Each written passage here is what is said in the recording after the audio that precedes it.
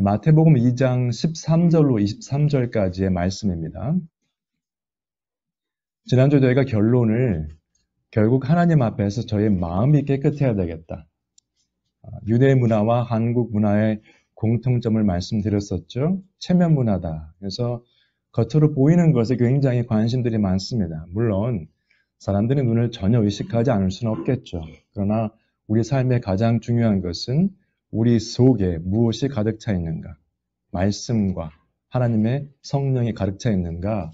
세상적인 생각들로 가득 차 있는가? 그래서 바리새인들처럼 율법에만 능동한 것이 아니라 삶 가운데 우리의 삶이 변화된 모습이 나오려면 속이 깨끗해야 되겠다. 그 말씀을 드렸었습니다.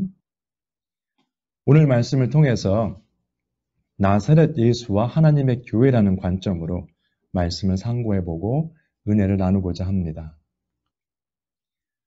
13절과 14절을 보시면은 요셉이 이제 식구들을 데리고 애굽으로 떠나가게 됐어요.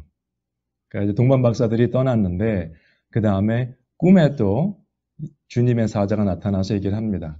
헤롯이 다 죽이려고 하니까 애굽으로 피하라 말씀하셨는데 애굽으로 왜 피했는가? 하필이면 왜 또 애굽인가 한번 생각해 보셔야 돼요. 구약에서 보셨지만은 애굽에서 종살이를 했었죠. 별로 가고 싶은 동네는 아니었을 거예요. 그런데 로마 제국이 있을 때였기 때문에 지금 지중해 난에 있는 그런 모든 국가가 로마 제국 안에 속해 있었죠. 그래서 베들레헴이 예루살렘에서 남서쪽으로 얼마 안 되는 거리에 있었기 때문에 거리를 보시면은 애국까지 한 170마일 정도 됩니다. 그리고 아마도 많은 사람들이 예상하기로는 알렉산드로에 가지 않았을까라는 생각을 합니다. 그 이유가 뭐냐면 알렉산드리아는 BC 4세기경이죠. 알렉산더 대왕이 통치할 때 그 자기 이름을 따서 만든 도시인데 저때 당시에 로마 제국에 이제 속해 있었죠. 애굽 포함해서. 근데 알렉산드리아의 저때 1세기에 한 100만 명 정도 유대인들이 살고 있었다고 합니다. 그래서 거기에 가면 아마 유대인들로서 서로 보호받을 수 있는 그러한 동네가 아니었을까. 추측인데 가능성이 상당히 높은 이야기니까 참고하시고요. 그래서 헤롯이 죽기까지 거기 있었어요. 근데 그것도 결국은 뭡니까? 선지자를 통해서 말씀하신 바가 이루어지려고 됐던 겁니다. 그것마저도. 지금 계속 보시겠지만은 신약 성경 말씀을 보실 때 마태복음부터 계시록까지 쭉 보시면요. 직접적으로 이렇게 하나님의 말씀을 구약의 말씀을 인용한 부분도 있고 직접적으로 인용을 안 했지만은 내용이 구약에서 온 경우도 있고 정확진 않은데 구약의 내용이 비춰지는 경우도 있습니다. 보통 세 가지로 나눠요. 이런 경우는 직접적으로 인용하신 거죠. 어디서 나오냐면 호세아서 11장 1절에 나옵니다. 이스라엘이 어렸을 때 내가 사랑하여 내 아들을 애굽에서 불러냈건을 저기서 아들은 분명히 이스라엘 나라 전체를 말하는 것이었습니다. 그런 부분에 대해서는 저희가 나중에 성경 공부 시간에 자세히 다루겠지만은 제가 질문을 드리고 싶은 것은 이겁니다. 주의 사자가 나타나서 요셉에게 말을 했고 헤롯 왕이 안 좋은 일을 하려고 계획을 했고 그다음에 예수 그리스도는 하나님이시고 그런데 전능하신 하나님께서 왜 굳이 요셉과 그 가족을 애굽으로 피신시키셨을까? 하나님께서는 그냥 거기에 남겨놓고 보호하실 수 있으셨을 거예요. 분명히. 하나님이 못하신 게 아니거든요. 결국은 뭐냐면 요셉이 그 말씀에 순종했던 면을 보셔야 돼요. 그리고 하나님의 말씀이 이루어진 것을 보셔야 됩니다. 아니 하나님이 전능하신데 꼭 내가 피해야 되는가? 볼 수 있어요. 제 삶 가운데도 그런 일이 종종 있습니다. 상식적으로 내 생각으로 볼 때는 안 해도 되는 것 같은데 혹은 그냥 넘어가도 될 것 같은데 말씀에 의해서 내가 바꿔야 될 것이 있습니다. 상식적으로는 안 되는 것 같지만. 그런 부분이 어떻게 나오죠? 누가복음에 보시면은 그 예수님의 제자들, 제자 되기 전이죠. 그 사람들이 이제 업으로서 전문가들이잖아요. 업으로서 사는 사람들이고 동업을 하는 사람들이 밤새도록 했는데 아무것도 못 잡았어요. 근데 뭡니까? 말씀에 의지하여 그물을 내리리이다. 그래서 보통 설교를 들으시면 그렇게 했더니 고기를 잡은 것이 심이 많아서 그물이 찢어졌더라. 여러분도 순종하시면 여러분들이 투자하신 거 대박이 날 겁니다. 그렇게 말씀하신 분이 계신데 절대 그렇지 않습니다. 잘못된 적용이죠.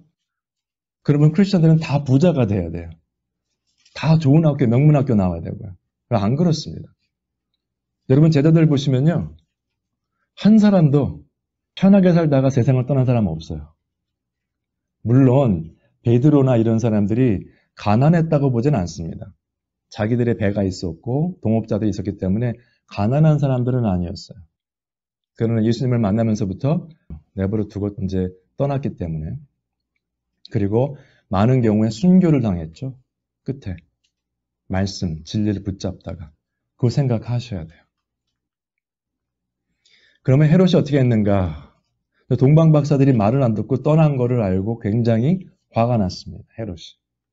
그래서 그 아이들을 죽이기 시작했는데 그것도 또한 선지자 예레미야를 통해 말씀하신 바, 그 바가 이루어진 거예요.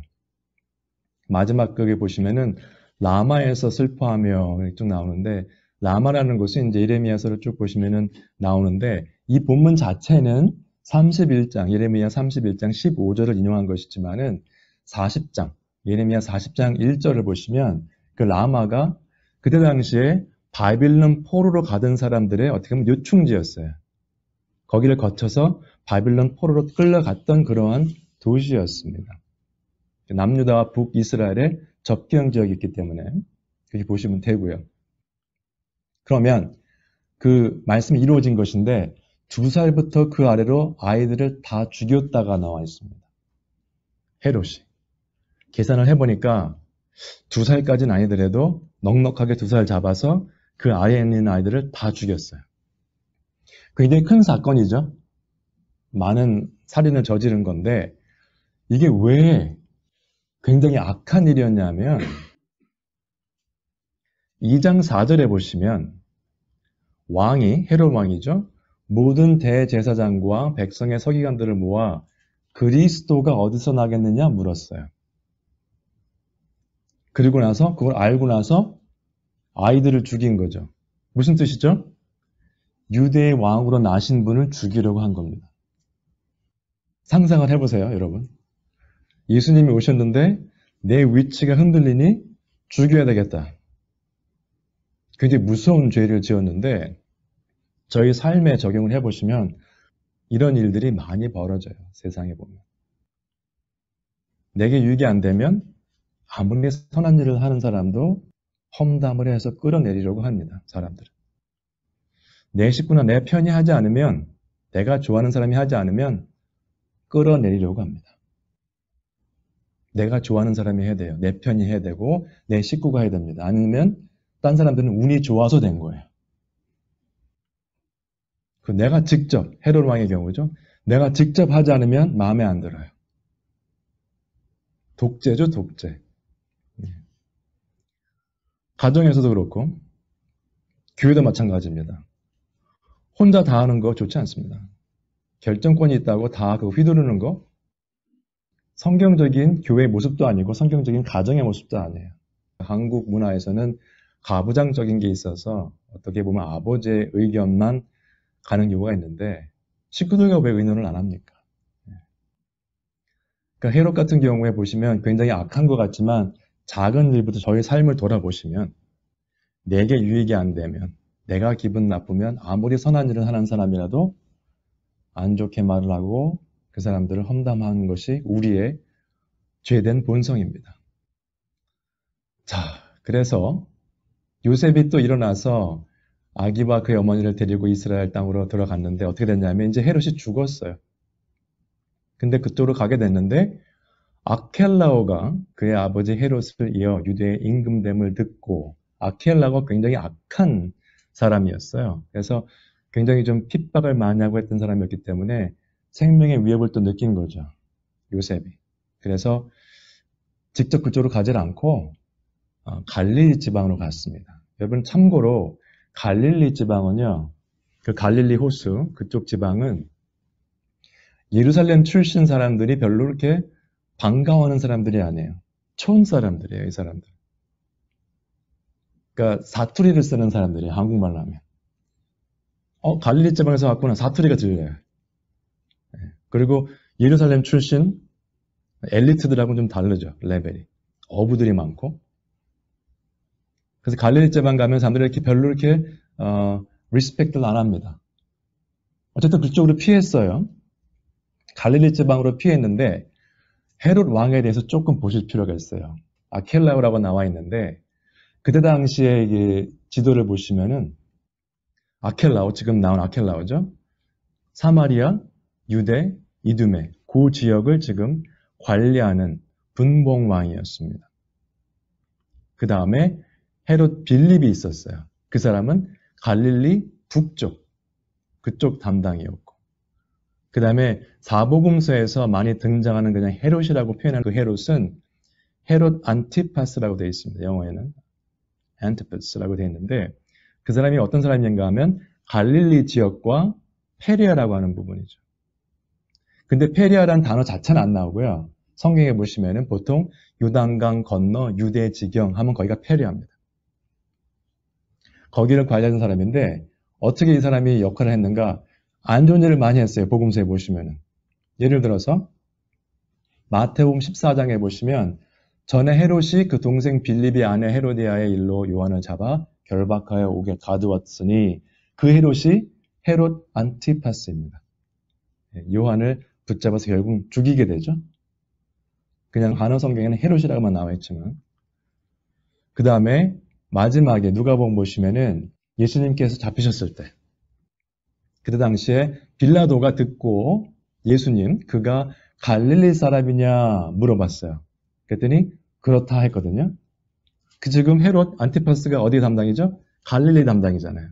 그래서 헤롯의 관할에 속한 줄을 알고 헤롯에게 보냈니?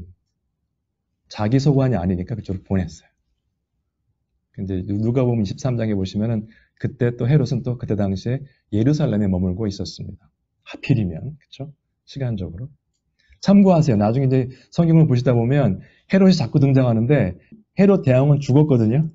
같은 헤롯이 아니에요. 아직도 살아있네? 그게 아니고 죽고 나서 그 아들들이 이렇게 나누어서 집권을 했습니다.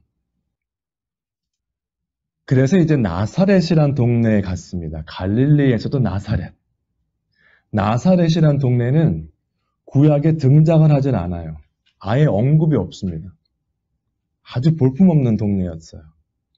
그래서 보시면은 나사렛이란 동네에 가서 사니 이는 선지자로 하신 말씀에 나사렛 사람이라 칭하리라 하심을 또 그걸 이루라 함이라 라고 되어 있어요. 선지자의 말씀. 그런데 조금 전에 말씀드렸지만 나사렛이라는 동네 자체가 구약에 나오질 않습니다. 아까 아들을 애굽에서 불러 이런 건 호세아 11장에 나온다고 말씀드렸잖아요. 정확히 나오죠. 예레미야의 그 말씀은 예레미야의 말씀이 이루어졌느니라. 라마에서 좀 나오는데 여기는 나사렛은 등장을 안 했는데 선지자의 말씀이 이루어지려고 했다. 한어 성경에는 그냥 선지자로 하신 말씀이라고 되어 있습니다. 근데 이때까지, 이 전까지 계속 나온 선지자로, 선지자로 그 말씀 선지자는요, 이렇게 보셔야 돼요. 다 단수였어요. The prophet. 마태복음 1장 22절, 2장 5절 등등. 2장 17절은 예레미야. 정확히 말씀하셨죠? The prophet 한 거니까 그것을 구약에서 따온 것으로 확인이 가능했어요. 근데 여기는 한어에는 그냥 선지자로 되어 있지만 복수입니다. The prophets. 무슨 뜻인가 하면 어떤 정확하게 한 선지자의 말이 아니라 구약의 내용이 이루어지려고 했다. 그런 뜻입니다. 그러면 나사렛 사람이라 칭하리라 하심을 이루려 함이라 했는데 나사렛 사람이라 칭하리라 하심을 남들이 부르는 거죠. 저 사람 나사렛 출신이다. 어디 어디 출신이다. 근데 갈릴리가 촌이라고 했죠. 거기에서도 이름도 못 들어본 나사렛이에요. 그 대략 계산을 해본 사람들, 고고학자들이 보니까 1세기에 나사렛이란 동네에 한 480명 살았대요. 500명도 안 되는 사람이 사는 아주 조그만 동네였어요. 갈릴리에서도 그 촌이에요. 촌구석. 그러니까 이 나사렛 사람이라 칭하리라 하심을 이루라 한 것은요, 어떤 위대한 이름을 듣거나 한 게 아니고요, 별 볼 일 없다고 칭함을 받는다는 뜻입니다. 그런데 그 말씀을 조금 드리기 전에 나사렛이란 단어 자체를 좀 설명을 드릴게요. 이것은 어, 이렇게 이제 이론을 펼치시는 분이 있기 때문에 나누어 드리는 거고요. 닥터 마이어, 저희 교회 오셨던 닥터 마이어 히브리 교수님께서 설명하셨던 부분이기도 합니다. 제가 신학대학원 다니면서 어, 많은 걸 배웠지만 그 중에 하나인데 보시면은 이세 줄기에서 한 싹이 나며 나오죠. 이세가 누굽니까? 다윗의 아버지죠. 그러니까 굉장히 좀 시적인 표현이죠. 이세의 줄기에서 한 싹이 나며 그 뿌리에서 한 가지가 나서 결실할 것이요 라고 되어 있습니다. 그러면 한 가지라고 되어 있는 게 영어 성경에는 branch, branch예요. 가지. branch from his roots. 그 가지라는 히브리 단어가 넷셀입니다. 넷셀. 나사렛이죠. 히브리어는요. 모음이 없기 때문에 자음 가지고 단어가 이루어집니다. 나자라. 그 나자 하 다음에 R 발음이거든요. 마지막에. 오른쪽에서 왼쪽으로 보시면 나사렛이라는 단어가 거기서 나왔다. 그래서 이세의 줄기에서 난 한 가지는 누굴까요? 예수 그리스도죠. 어떻게 하는가? 그 다음 구절을 보시면 이렇게 나와요. 그의 위에 여호와의 영, 곧 지혜와 총명의 영이요, 모략과 재능의 영이요, 지식과 여호와를 경외하는 영이 강림하시리니 예수 그리스도이십니다.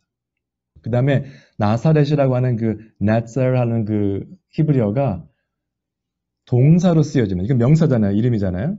동사로 쓰여지면 보호한다는 뜻도 있습니다. 파생어지만 보호한다. 예수님께서 자기 백성을 구원하시려고 하나님의 진노에서 보호하신 거죠. 이렇게 보시면 연결이 되는 부분이 꽤 있습니다. 이사야서 53장을 보시면 잘 아시는 부분이지만 함께 읽으시죠. 여기 시작. 그는 주 앞에서 자라나기를 연한 순 같고 마른 땅에서 나온 뿌리 같아서 고운 모양도 없고 풍채도 없은즉 우리가 보기에 흠모할 만한 아름다운 것이 없도다. 그는 멸시를 받아 사람들에게 버림받았으며 간고를 많이 겪었으며 질고를 아는 자라 마치 사람들이 그에게서 얼굴을 가린 것 같이 멸시를 당하였고 우리도 그를 귀히 여기지 아니하였도다. 예수 그리스도의 모습을 굉장히 정확하게 묘사하고 있는 이사야서 53장의 말씀입니다. 고운 모양도 없고 풍채도 없음즉 우리가 보기에 흠모할 만한 아름다운 것이 없도다. 보통 예수 그리스도의 그림을 그린 걸 이렇게 보시면은 굉장히 미남이시고 멋있습니다. 그런데 성경 말씀하면 별로 흠모할 만한 아름다운 것이 없는 분이었어요. 세상적으로 볼 때. 멋있는 분이 아니었어요. 생각해 보세요. 목수로 일을 하셨으면 아버지가 목수였죠? 도와주셨겠죠? 그러면 밖에서 많이 끌리고 우윳빛 스킨을 가지신 분이 아니었을 거예요. 그리고 우리가 아는 것처럼 막 나약한 분도 아니었을 것 같아요. 그 일을 하셨기 때문에 머슬도 있으셨을 것 같아요. 그 상상을 해보셔야 돼요. 그런 멸시를 받아 사람들에게 버림받았으면 당연하죠. 나사렛 출신인데. 갈릴리의 촌에서 이름도 없는 나사렛 출신이고 목수입니다. 유대인들의 그 문화도 그렇고 로마의 문화도 그래서 거기에서는 육체적으로 일을 하는 것, 몸으로 일을 하는 것을 굉장히 멸시했어요. 종들이 하는 일이었어요. 그때 당시에는. 요즘은 뭐 직업에 귀천이 없습니다만 그때는 그랬었어요. 그러니까 흠모할 만한 것이 아무것도 없었고 멸시를 받았습니다. 사람들에게 버림을 받았죠. 사람들이 찾지 않았습니다. 예수 그리스도를. 그래서 우리도 그를 귀히 여기지 아니하였도다. 우리가 하나님을 예수 그리스도를 믿기 전에는 우리는 한 번도 예수 그리스도를 귀히 여긴 적이 없습니다. 우리한테 귀한 것은 세상적인 것, 물질, 명예 이런 거, 그죠?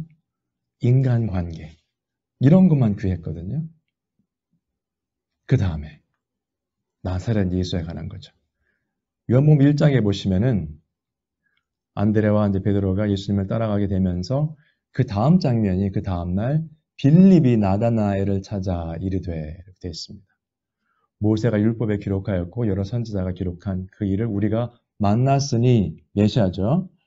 요셉의 아들 나사렛 예수니라 했는데 별로 좋은 소개는 아니었어요. 나사렛 예수다. 그럼 여러분 하나 저희가 적용할 것은 빌립이 예수님을 만나자마자 한 것이 나다나엘을 찾아가서 일렀습니다. 그 앞에 보시면은 본문에 보시면은 그 안에는 같이 한번 읽으시죠. 시작. 요한의 말을 듣고 예수를 따르는 두 사람 중에 하나는 시몬 베드로의 형제 안드레라. 그가 먼저 자기의 형제 시몬을 찾아 말하되 우리가 메시아를 만났다 하고 데리고 예수께로 오니 나사렛 예수를 만났는데 안드레가 베드로한테 찾아가서 말을 했어요. 우리가 메시아를 만났다. 여러분 나사렛 예수라고 하면 별 볼 일 없거든요. 근데 찾아가서 진리다. 모세 오경에 말하는 그 율법에서 말하는 메시아다. 그걸 알았기 때문에 전한 거잖아요. 여러분들은 주위에 있는 분들에게 무엇을 전하십니까? 저희 교회가 사이즈가 작고 설교를 하는 것이 성경 말씀만 하니 그런데 뭐가 있겠어? 할 수 있는 반응이 있을 수 있겠죠? 여러분들이 전하시면. 안드레는 어떻게 했죠? 말하고 나서 데리고 예수께로 왔어요.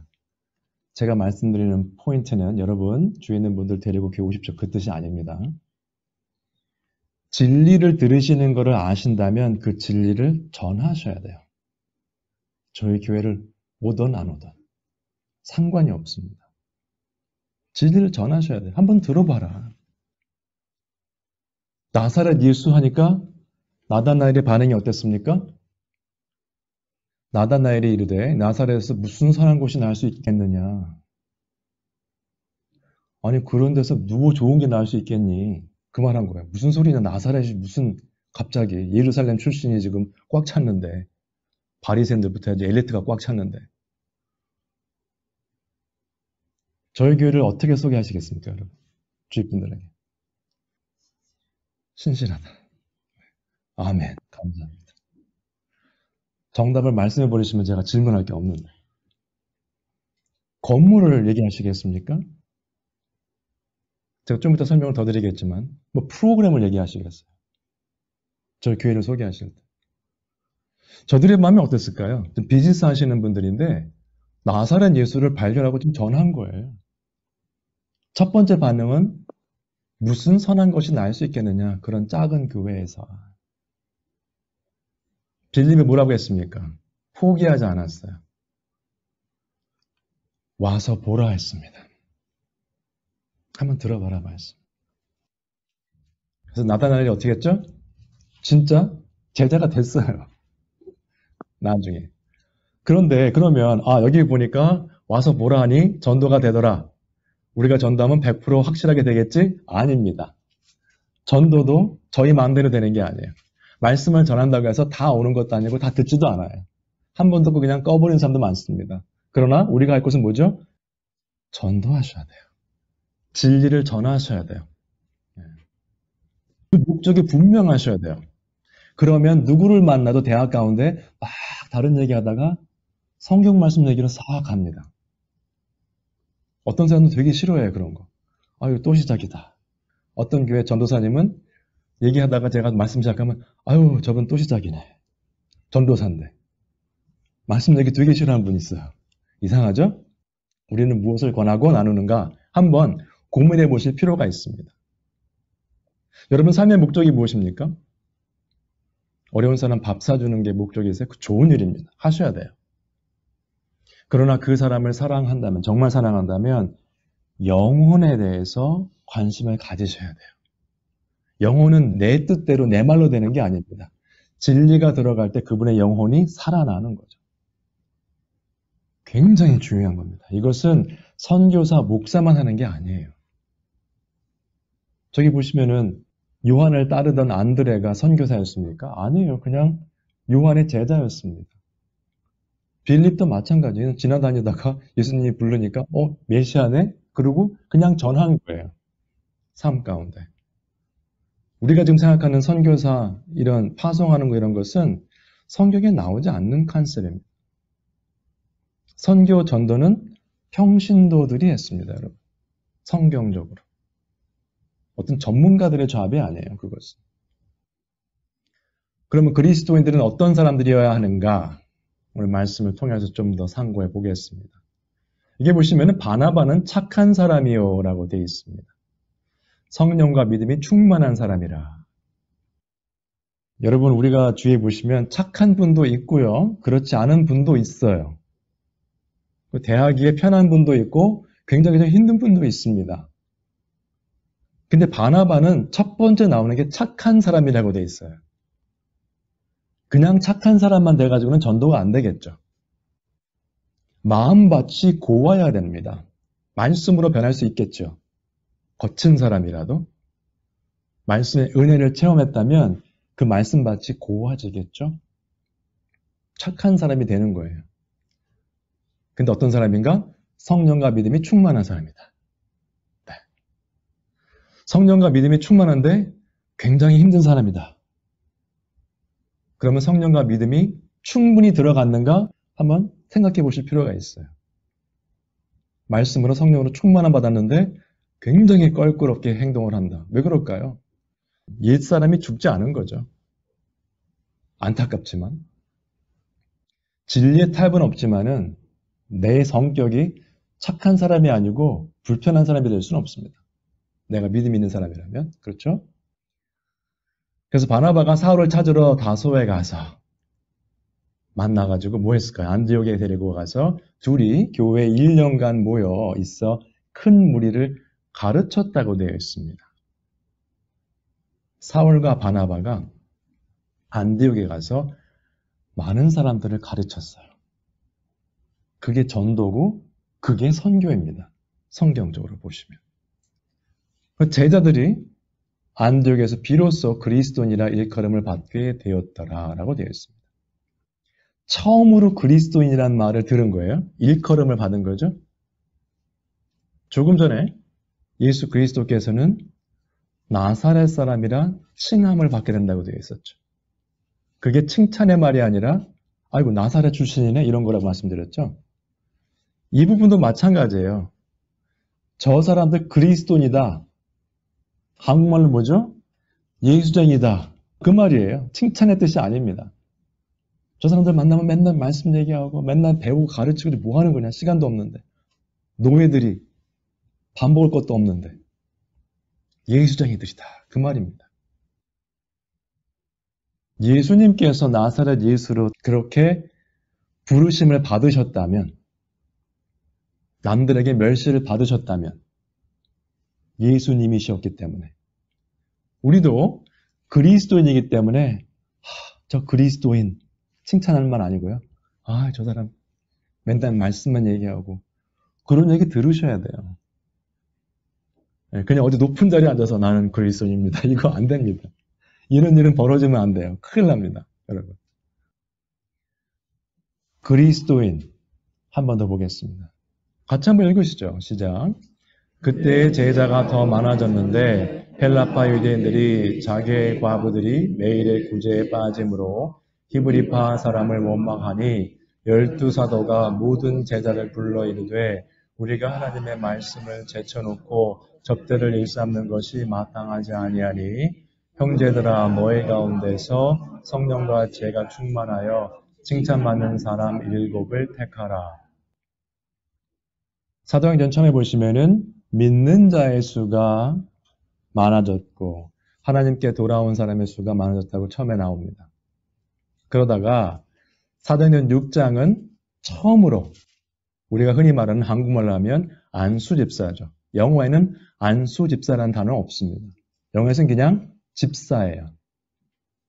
우리가 말하는 안수 집사. 결국 서리집사 이런 건 원래 없는 거죠. 성경에.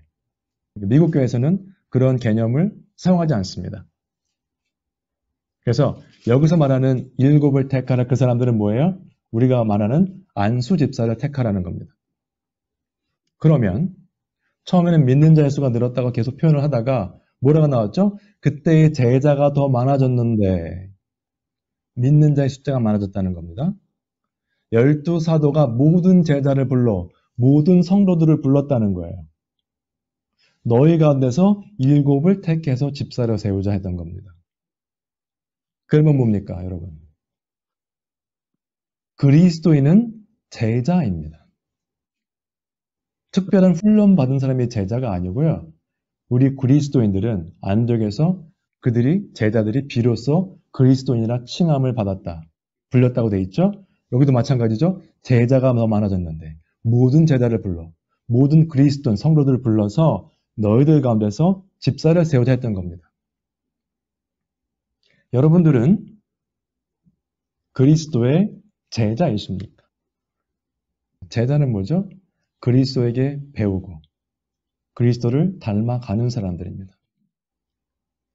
제가 존경하는 교수님들, 저희들이 제가 이제 3년, 4년, 한 5년 정도를 같이 공부를 하다 보니까 그분들께 많이 배우면서 많이 닮아가더라고요. 그래서 그 제자는 그리스도의 제자인데 항상 전도, 선교 집회할 때 나오는 본문이죠. 마태복음 28장. 그러므로 너희는 가서 모든 민족을 제자로 삼아입니다. 우리가 말하는 선교 전도랑은 좀 달라요, 내용이. 아버지와 아들과 성령의 이름으로 세례를 베풀고 무엇을 하라고 명령하셨냐면 내가 너희에게 분부한 모든 것을 가르쳐 지키게 하랍니다. 목사라고 하던 선교사라고 하던 교회의 사역은 하나님의 자녀들을 제자 삼으면서 말씀을 가르쳐서 지키게 하는 것이 교회의 사역입니다. 또 한 번 말씀을 드릴게요. 교회. 보통 제가 교회를 옮기시는 분들을 많이 봅니다. 항상 있죠. 어느 교회나 떠나시는 분이 계시고 오시는 분이 계시고 제가 큰 교회 있을 때도 마찬가지예요. 특히 이제 자녀들 부르신 분들은 친구가 많아서 저쪽으로 갑니다. 그런 분들이 있어요. 그 말을 하면 제가 뭐라고 할까요? 아, 그렇군요. 말을 할 수밖에 없죠. 죄송하지만 부모님도 자녀들의 친구 때문에 교회를 옮긴다는 뜻인데 그것은 교회라는 개념 자체를 이해 못 하시는 분들이죠. 교회를 친구 때문에 옮깁니까, 여러분? 거기는 환경이 좋습니다. 건물도 좋고, AC도 잘 나오고, 음악이 또 듣기 좋습니다. 그러면 기쁜 마음으로 보내드려야죠. 그런 분들. 하나님의 말씀에 관심이 없기 때문에 프로그램이 좋습니다. 모임이 많고, 예. 바자에도 매년 하고 좋습니다. 그래서 옮기시는 분들은 종종 받습니다. 그런 분들은 그냥 가시는 게 맞아요. 저는 개인적으로 성경 말씀이 선포되지 않아서 교회 옮깁니다 한 거 본 적 없어요. 아, 이거 목사님이 성경 말씀 안 하고 강단에 서서 예화만 하고 재밌는 얘기만 합니다. 그래서 는 교회 옮깁니다. 들어본 적이 없어요. 그 다음에, 어, 저희 교회는 신학적으로, 교리적으로 좀 안 맞고 그 티칭하는 걸 말씀을 나눴는데 설명을 들었는데도 난 안 되겠습니다. 그래서 옮기시는 분 들어본 적 없어요. 가장 중요한 이유 때문에 교회를 옮기시는 거는 본 적이 없고요. 아무 의미 없는 거로 옮기는 거는 종종 봅니다. 뭐 자녀 때문에 옮기든 뭐가 됐던 그 옮기는 이유가 성경 말씀과 진리에 국한된 게 아니라면 그분은 교회를 그냥 친교학으로 다니시는 거예요. 자녀 교육을 위해서 다니는 겁니다. 그건 신앙생활이 아니죠. 그런데 저희가 많이 부족하죠. 저희 교회도 부족하고 저도 부족하고 다 부족하지만 그래도 다른 교회에서 저에게 연락이 오시고 말씀을 나누다 보면 저는 저희 말씀을 들으시는 저희 성도님들 온라인 들으신 분도 계시지만은 좀 자랑스럽게 얘기를 합니다.